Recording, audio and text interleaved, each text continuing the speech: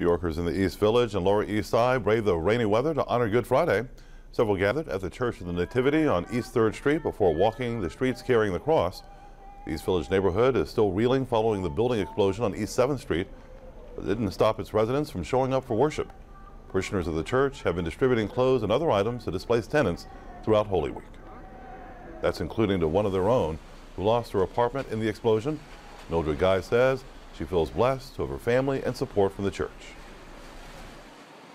Grateful, grateful and blessed that the support that I have received from the community of Nativity, that I'm praying that I be blessed again, that it stays open, and also that my family is alive. I'm able to kiss, hug them, and be thankful.